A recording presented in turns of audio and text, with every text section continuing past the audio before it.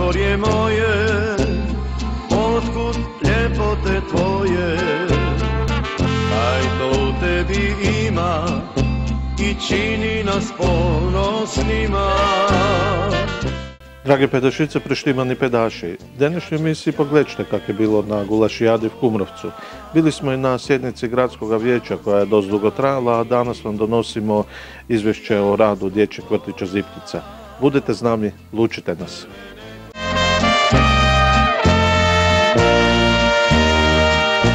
Možemo reći kraj studenog mjeseca, ali Kumrovec još uvijek živi kaj se tiče turizma. Pa Kumrovec živi, živi svoj dan, živi svoj dan općine 24.11. E, Eto, tu smo, prisutni smo, jučer smo imali svečanu sjednicu, ali danas e, kuhamo kotliće sa našim udrugama, sa našim prijateljima. Imamo 14 kotlića ovdje prisutnih. Mislim da ima stvarno raznih okusa, ali za svakoga po nešto. Eto, to je najmanje što možemo ponuditi e, našim mještanima, isto tako i svima koji voli Kumrovec, koji voli doći ovdje u Kumrovec. Jest da je teška situacija, da su epidemiološke mjere na stanju i da jednostavno moramo se držati neke distance, ali evo danas smo ovdje na otvorenom.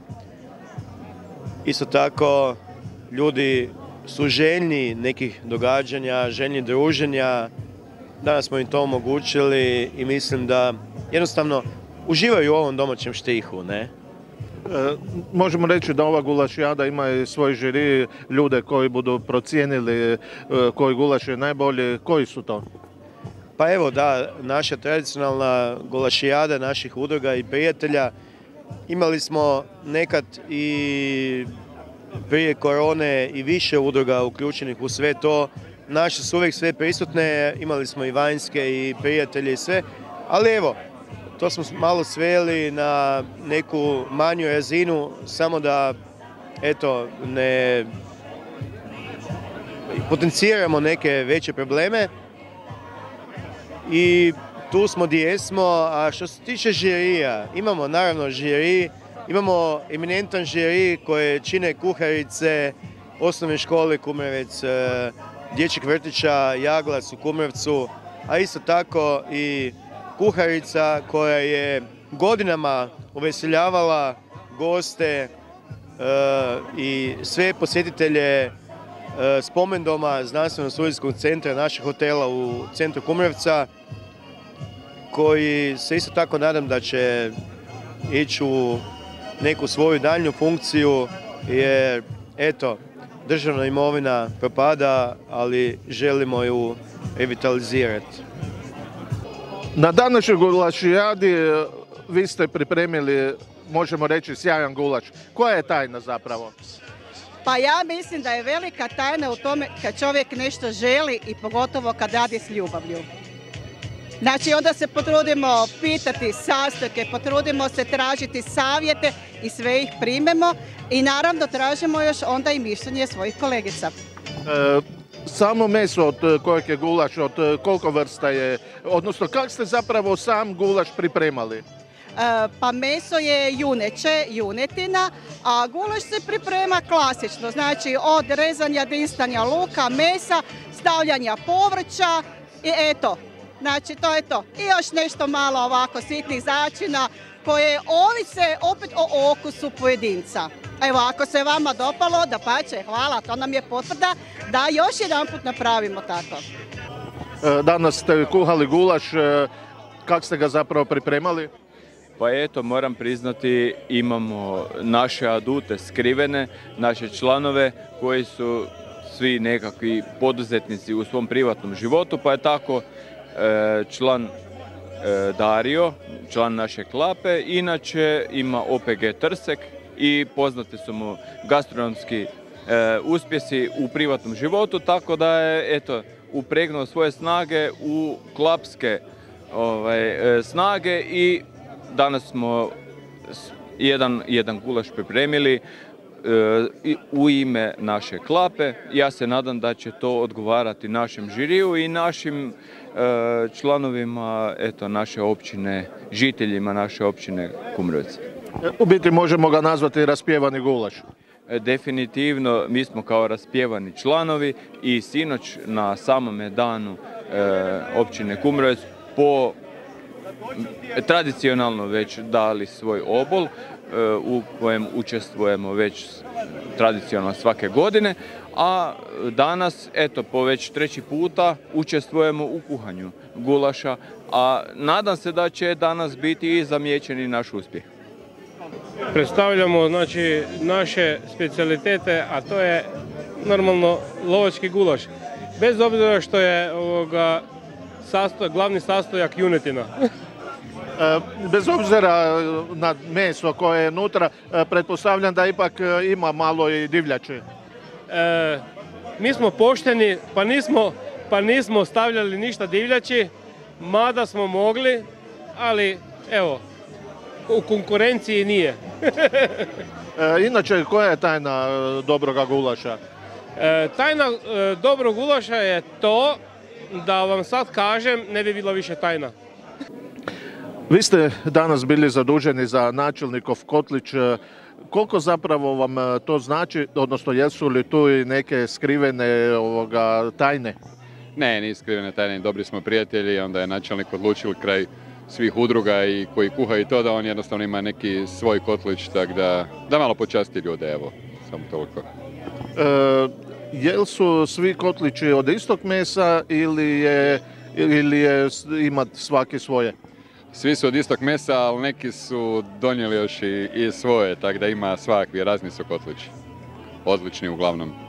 E, vaš? E, naš je samo od ovog mesa koje je bilo ovdje, ne? To je Treba probati, ja mislim da je dobar. Malo šarp onak. e, koja je zapravo tajna dobrog kotlića? A, ljubav, znači mora se krčkat polako. Dobro, luk za peć, to je važno, a poslije kako voli, ali u biti je da se radi s ljubavlju i polako.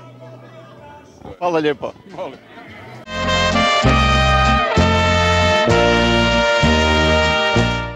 tijekom pedagoške godine njega i briga za zdravlje i tjelesni rast i razvoj djece obavljeni su sukladno e, sukladno djelokrugu rada naše zdravstvene voditeljice. Zbog novonastale situacije organizacije rada planirane aktivnosti provodile su se u skladu s preporukama i realnim mogućnostima.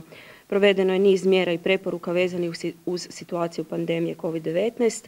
Osoblje je periodično dobivalo pisane upute o načinu rada obzirom na dopone. Roditelji su bili pravovremeno informirani i upućivani u promjene organizacije rada, način ulaska u ustanovu, vrijeme dolaska i i njihovim e, obavezama i načinu obhođenja putem pisanih obavijesti u vrtiću i redovitih objava na web stranici e, vrtića. Ne bilježimo nikakve probleme niti sa roditeljima, niti sa djelatnicima vezanima uz poštivanje e, svih propisanih mjera.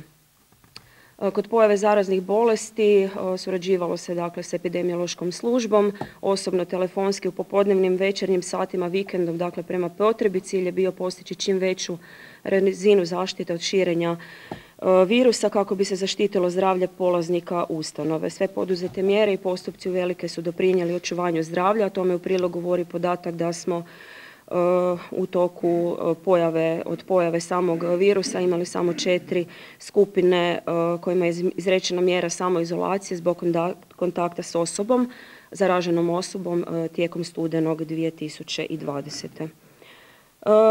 Što se tiče naše predškole, ona je u prošloj pedagoškoj godini brojila 20 jedno dijete. Kalendar rada je e, bio sukladan radu osnovnih škola. Završetak e, pedagoške godine, odnosno programa predškole uspješno je realiziran s 31.5. i sve je odrađeno uživo, nismo imali online e, predškolu. Prostorija predškole u područnoj školi Špičkovina opremljena je novim namještajem i fondom didaktičkih igračaka. Zbog potrebe otvaranja još jedne skupine na matičnoj lokaciji koju smo otvorili, dakle 14. skupinu u pedagoškoj godini 2020. i 2021. Naša najstarija skupina preseljena je u prostor koji se inače e, koristio za e, program predškole u Zaboku, dok je mala škola koristila prostor e, dvorane.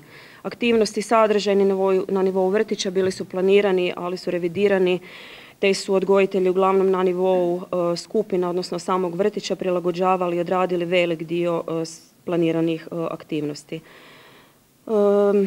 Važnije aktivnosti koje smo na nivou vrtića odradili s obzirom na situaciju epidemiološku, nastavilo se raditi dakle, na aktivnostima vezanima uz ekotematiku, Obilježili smo Europski tjedan mobilnosti, prigodno obilježili dane zahvalnosti za plodove zemlje, maskembal na nivou vrtića, obilježavanje tjedna zdravlja, aktivnosti prema uputama i pozivu Hrvatskog zavoda e, za javno zdravstvo u okviru projekta Živjeti zdravo, uključivanje u aktivnosti izrade crteža motivacijskih poruka za djecu s područja pogođenih potresom na pozivu učiteljskog fakulteta.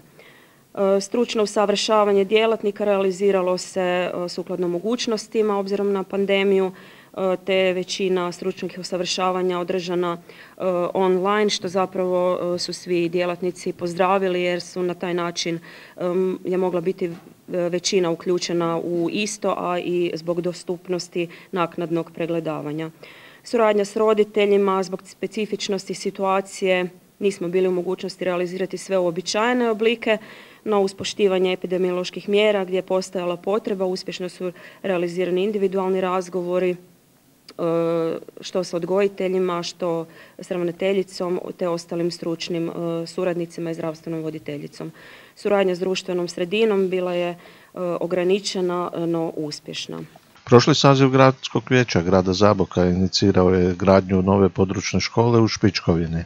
U sklopu te nove škole bio bi dječji vrtić. Projektni zadatak je pri kraju i dobili smo informaciju u petak da je taj objekat ušao u projekt financiranja iz obnove i razvitka koji je odobren od strane Brisela za područje odgoja i obrazovanja. Tako da se nadamo da će brzo krenuti realizacija tih E, natječaja i da bi se moglo raspisati natječaje za realizaciju tog projekta što će olakšati ravnateljici probleme sa e, grupama, otežat će probleme sa dostavom hrane i slično, ali definitivno smanjiti pritisak na, na jednoj lokaciji i potrebu snalaženja sa korištenjem prostora za povećanu potrebu za smještaj djece, to je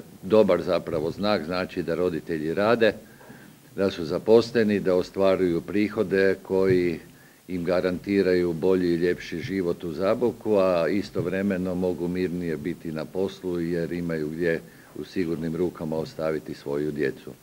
Tako da nas veseli program oporavka i obnove jer u bitnom će utjecati na područje Zaboka, naime i projekat dogradnje osnovne škole ulazi u tu kategoriju jer će se u ovom ciklusu tih natječaja financirati samo oni projekti kod onih škola koje rade u više smjena. Škole koje rade u jednoj smjeni, ako im i fali, sad ću reći na primjer dvorana, ne ulaze u taj program.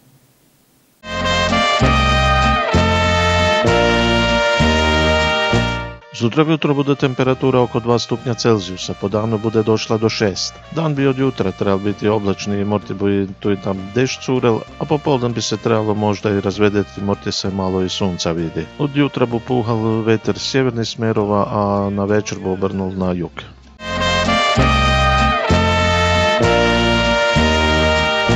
Dragi moji, nadam se da vam se današnja emisija dopala čemu te neki zapovedati ili bi šteli da neki dojdem snimiti, lijepo bi prosil kad bi poslali elektronsku poštu ili nazvali na broj na ekranu.